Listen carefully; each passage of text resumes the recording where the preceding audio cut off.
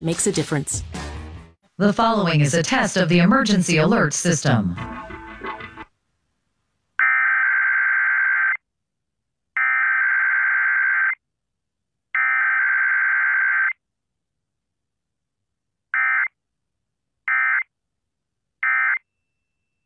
Testing its emergency alert system equipment. The EAS will provide timely emergency warnings. This station serves the Pittsburgh Extended Operational Area. This concludes this emergency alert system test.